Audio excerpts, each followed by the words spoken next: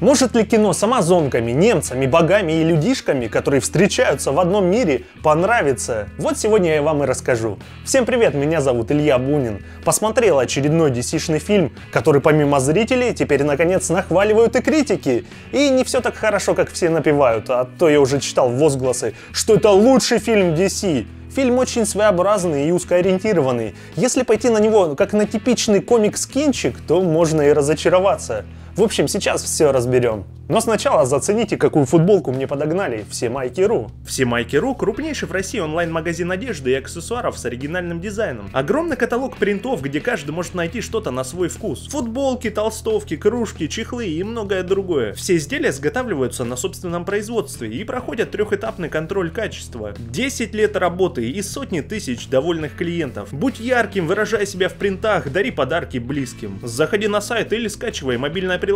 Для подписчиков канала скидка 10% по промокоду. «Чудо-женщина» — это супергеройский драма-боевик и четвертый фильм расширенной киновселенной DC. Режиссером выступила американка Петти Дженкинс. Широкой популярностью в массах она не пользуется, но в списке ее режиссерских работ есть довольно известный фильм «Монстр», который принес золотую статуэтку актрисе Шарли Стерон. Основные съемки «Чудо-женщины» стартовали в конце 2015 года, то есть еще до того, как персонажа засветили в фильме «Бэтмен против Супермена». Бюджет сольника оказался существенно меньше, чем у предыдущих фильмов франшизы. Производство «Чудо-женщины» обошлось в 120 миллионов долларов, тогда как бюджет конченного отряда составил 175 миллионов, а «Бэтмена против Супермена» и вовсе 250. Действие фильма переносит зрителя в начало 20 века. Принцесса амазонок по имени Диана живет в полной изоляции и неведении на острове Темис-Кира. Но однажды в его водах терпит крушение самолет, пилот которого приносит весть о масштабной войне. Если рассматривать сюжет чисто в идейном плане, то для супергеройского кино здесь все вполне традиционно. Я ожидал увидеть очередную историю о спасении мира, и я ее увидел. Чудо-женщина слышит ужасающие истории о Первой мировой и по доброте душевной решает вписаться за все человечество перед угрозой тотального уничтожения. В процессе она узнает много нового и о человечестве, и о себе самой, а также познает радость любви и горечь потерь. Никаких откровений от сюжетной линии ждать не приходится, но и разочарован я не был, потому что прекрасно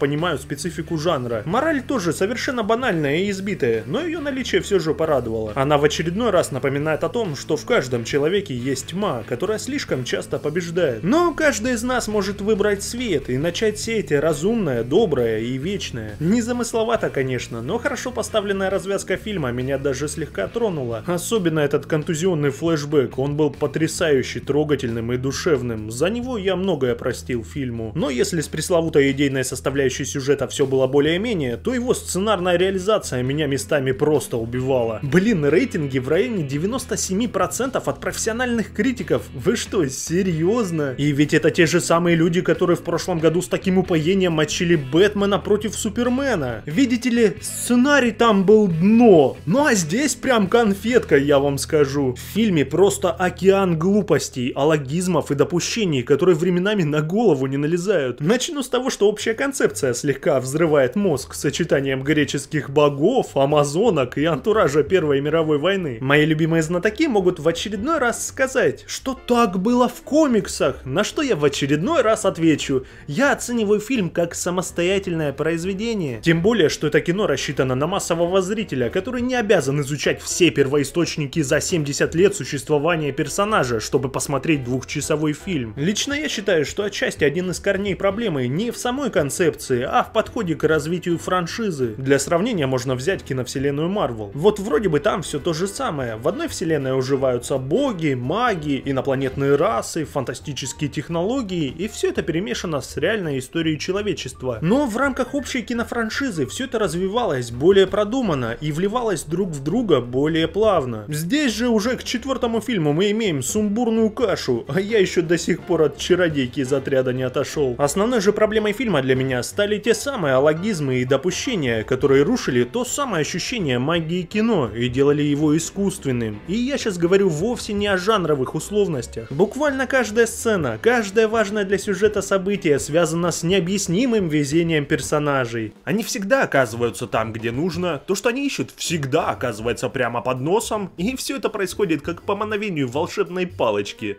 Немцы в полном составе покидают вооруженный корабль и бездумно бросаются в рукопашный бой, где их предсказуемо рубят в капусту. Герои отправляются на парусной лодке с острова, который находится хер пойми где, засыпают, а на следующее утро в следующем же кадре уже оказываются в порту Лондона. Прям какой-то fast travel, как в Скайриме или Fallout. Лег поспать на корабле и на следующий день оказался в другой части света. Герои легко и быстро попадают в парламент на собрание высших представителей власти, месте, без проблем садятся в самолет и попадают на фронт. Пулеметчики лупят по Диане перекрестным огнем, но попадают только в щит. В такие моменты я себя ловил на мысли, что смотрю очередной фильм про Капитана Америку. С географией в фильме все вообще очень туго. Герой Криса Пайна долетел до острова с материка на каком-то допотопном кукурузнике и без проблем преодолел защитный барьер. Но за предыдущие тысячи лет это место почему-то никто не нашел. Вот долбаные викинги тысячу лет назад умудрились до Америки доплыть, а островок, до которого, судя по логике фильма, рукой подать, оставался тайной. Принцесса Диана говорит чуть ли не на всех языках мира и знает, что такое репродуктивная биология, но при этом понятия не имеет, что такое секретарь и бракосочетание. На протяжении всего фильма она преподносится в очень возвышенном свете, но подобные косяки, слишком вычурная наивность и специфичный юмор нередко выставляют ее глупенькой дурочкой. Ну а про второстепенных персонажей вообще говорить не приходится, их тут просто нет. Вместо них есть ходячая мебель, на которую навешаны лютые национальные стереотипы. Так, у нас есть здоровенный индеец, дадим ему куртку с бахромой, длинные волосы, винчестер и говор, как у магистра Йоды. Пусть говорит о духах и жалуется на бледнолицах. Еще у нас есть шотландец, пусть будет рыжим и вечно пьяным. И не забудьте напялить на него клетчатый килт, пусть даже на фронте в нем бегает, будет снайпером. Да, пьяный шотландский снайпер в юбке, который не может стрелять в людей из-за нравственности нравственных страданий. Что непонятно. Так, не хватает ближневосточного типажа. Возьмем вот этого. Наденьте на него феску или тюрбан и сделайте мошенником. Сойдет за турка или араба. И пусть все они выглядят как бомжи и самым случайным образом бухают в одном баре. Вот и все. Команда мечты готова. А теперь представьте, вся эта шелупень бегает с амазонкой в доспехах, гасит солдат Кайзера, а где-то на заднем фоне им еще и Зевс с Олимпа ручкой машет. Серьезно, ребят, это просто какой-то цирк с конями в прямом смысле. Зато четверо сценаристов было в фильме. Что-то регулярное увеличение их количества никак не хочет перерастать в качество. Заканчивая краткий разбор сценария, слегка проедусь по теме феминизма, которую подняли в связи с этим фильмом. Мое мнение такое, в «Чудо-женщине» идеи феминизма присутствуют, но подаются они крайне дозированно, а их смысл не исковеркан современными заблуждениями насчет этого термина. Да, Диана и остальные амазонки показаны возвышенными и независимыми женщинами, но все предельно адекватно и местами даже с иронией. А тему эту раздули отдельные упоровшиеся личности, которые не понимают, что феминизм это движение за равноправие женщин и мужчин, а не за превосходство одних над другими. Ну и что мы имеем в итоге? В Техасе сделали отдельные сеансы для женщин и запретили приходить на них мужикам, что уже как бы сексизмом попахивает. И бритые подмышки Гальгадот, которые все обсуждают, тоже к теме не имеют отношения. Слава богу, качество визуального ряда оказалось гораздо выше качества сценария. Для фильма было построено немало масштабных декораций, которые сочетались с натурными съемками острова Амазонок и прифронтовых территорий Первой мировой войны. Вроде все достаточно качественно, но знаете, общее ощущение искусственности все равно не покидало, особенно в сценах на фронте. А вот к экшену придираться мне совсем не хотелось, разве что его было немного. Весь движняк в фильме поставлен достаточно увлекательно. Вообще я не люблю, когда режиссеры злоупотребляют слоу-моу, но в Чудо-женщине баланс просто отличный. Драки с акробатическими техническими этюдами Дианы и других амазонок действительно впечатляют, а замедленная съемка очень удачно подчеркивает самые смачные и зрелищные моменты. Ну и как тут не сказать про бомбический трек от Ханса Циммера и Джанки XL, который врубается в нужные моменты и добавляет драйва и без того неплохой боевки. Знаете, такая музыка это самое настоящее читерство. С ее помощью можно вообще любой видеоряд сделать в разы круче.